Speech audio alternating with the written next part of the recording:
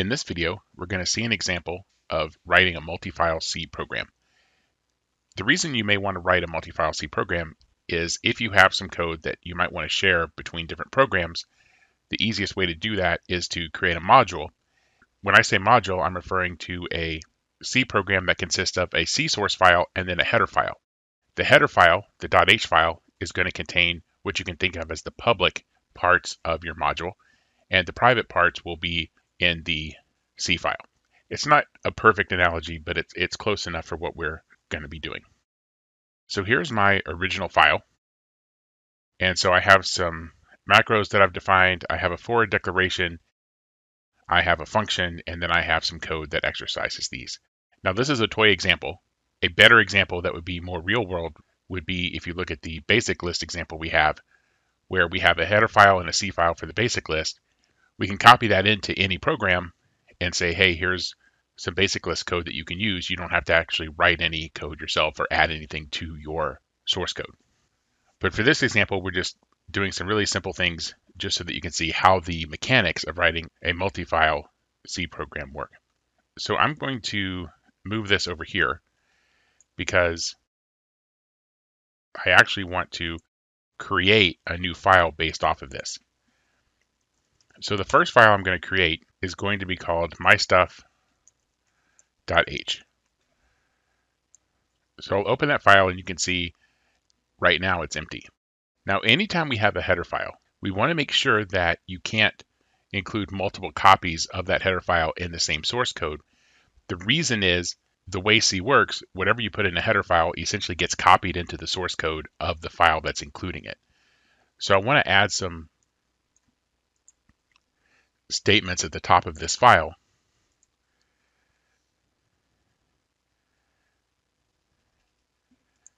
to ensure that this doesn't get included more than once. And if you don't understand how that works or why that is, just put this in your code and don't worry about it.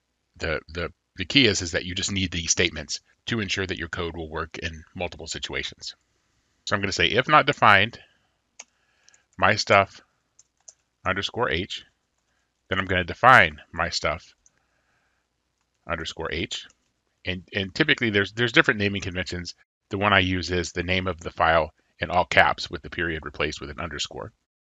And then I'm going to have an end if to say this is the end of this if statement. So if my stuff underscore h is not defined, I'm going to do what's in this block of code here. If it is defined, which it will be the second time this code is encountered, then this would just be ignored. So in my header file, I want to include macros and forward declarations for any public facing elements of my module. So I'm just going to copy those into the header file. And so here I have my macros and my forward declarations. So I'll save that and that should complete the header file. Now I want to create the corresponding C file for this module. It's going to be called mystuff.c. And mystuff.c is going to have the implementation of the function that I'm providing. So I'm going to copy this and I'll paste it. Now, I don't explicitly need to include mystuff.h here. I like to include this for two reasons. First off, it makes sure that all my forward declarations I need here are set up. So if I have functions that use each other, I don't have to worry about the order. They'll have a forward declaration from the H file.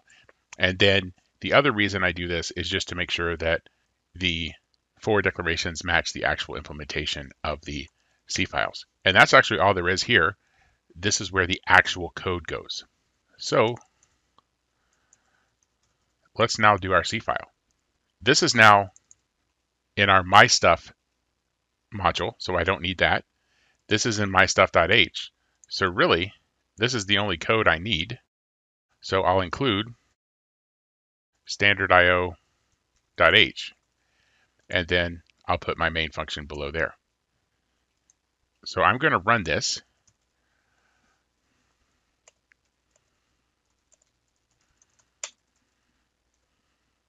So I have some errors.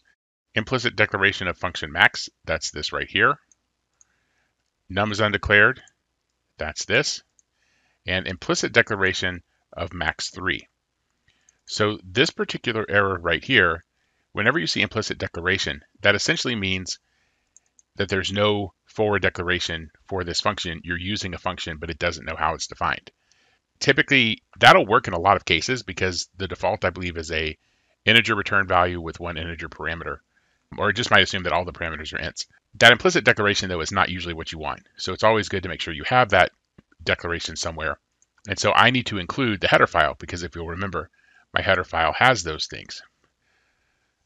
So I'm going to include my stuff.h. And when I compile now, notice it works. I have an undefined reference to max of 3. So just to show you the real quick what that include does, if I use the dash E flag, that tells GCC just to run the preprocessor. And all of these pound include, pound define, and so forth, those are all preprocessor directives. So you'll notice when I do include my stuff.h, you can see that it actually puts that code, that material from my stuff.h in my code. Now you don't see the defines because those are handled by the compiler, but you see that where I had max right here and num right here, you can see that those have been replaced in the original source code with what they're defined to be, what they were defined to be in the header file. If I didn't do this include statement, and then I tried to run the preprocessor, you'll see that none of those replacements were made. And I get those errors when I try to actually compile it. I compile this, and let's look at this error, undefined reference to max of 3. So I have a forward declaration for max of 3, but I don't actually have a definition. So what I need to do is include mystuff.c in the compile command. So this compiles both multifile.c and mystuff.c. So now I've compiled everything that includes code I need, and then the linker is able to find everything it needs, and I can run my code, and it runs as I would expect. This is a real important concept to get. There are other examples in this module. There's another multi-file example, and then the basic list example. It's an example of how to build a an actual useful module with a C file and a header file. And again, remember, include the header file, and we use quotes when it's a local file. I think I neglected to mention that earlier. That's why these are quotes. Whenever you see the uh, angle brackets, that means that those are a system include. This would be a local include. And I could even put a path here if I wanted, uh, if it was in like my code, the my code directory, I could put that there. But this just, whenever you have just the, the plain quotes that says look in the local directory where you're compiling from for that header file. And then this next thing to remember is always include the C file that goes along with the header file in your compile statement. Now in this class, our focus is not really on makefiles, but I do want to show you those because they're a very nice way of not having to write a lot these long, complicated compile statements. And for project two, which you'll be having seven different files there, you'll have three modules plus your, your main program. I've given you a, a make file. You don't need to edit it yourself. You don't need to worry about what any of this means. But this make file essentially gives directions to the system for what to do. So when I type make, I need to install it. And I just installed Ubuntu on it recently, so that's why that's not there. So now if I just type make, notice it runs these file these commands automatically, and there's my output. So what's nice about make is once you have your make file written for your project, you don't have to remember to compile your C files every time it already tells it to do that. There are other videos out there if you want to see what, you know, learn how to write a make file, but that's not really part of 240. If you're in 220, then yes, you should be looking at those and, and you'll see a reference to those. For 240, really all you need to know is once you're given a make file that works, you can just type make and that'll build your program for you. Okay, so that's a quick introduction to multi-file programs in C. Just as a review, our header file is just going to include forward declarations and macros typically. There are cases where you would have other things, but those are beyond the scope of what we're covering in this class. You always want to add guards at the beginning of your header file to ensure that it doesn't get included multiple times. That can happen if you have multiple files that are including the same utility header file. So uh, this prevents trouble from there. It's always just a good habit just to add these as soon as you write your header file. Don't worry about them beyond that. If not defined, name of the file in caps. Then if it's not defined, then define it and don't forget the endif. Then the corresponding C file has the code that's the implementation of the forward declarations you have. You can also have local stuff here if you want. If I defined a global variable or another function that I didn't have a forward declaration for, then I could use those inside this file, but they wouldn't necessarily be available in the other file, even if it includes mystuff.h. So you can have private, you can think of them as private members almost in your C code. And then once you're ready to actually use your module, you're going to include mystuff.h. You're going to compile with mystuff.c. And that allows you to use the module you've created. And then if you want to use mystuff. If you want to use my stuff outside of this multi-file example, you can. You just copy the C and header file somewhere else and use those the same way we use them here.